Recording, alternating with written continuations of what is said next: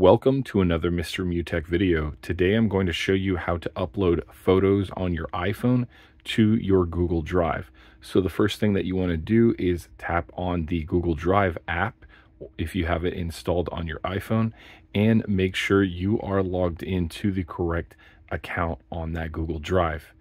Now the next thing you want to go ahead and do is tap on this little plus sign down here at the bottom and once you tap on that, tap on upload file now, once you tap on upload file, then select photos and videos.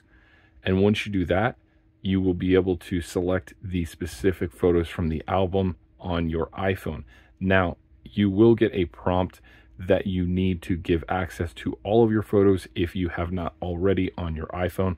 So the screen before this should have that.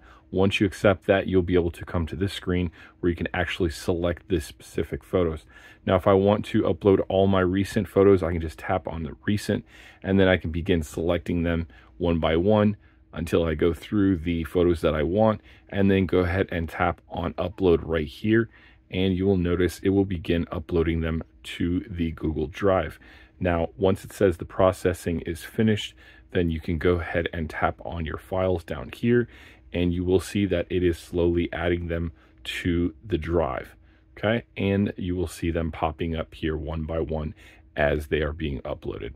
Hopefully that's helpful for you guys, and if so, feel free to give me a thumbs up. Thank you so much for watching, and have an awesome day.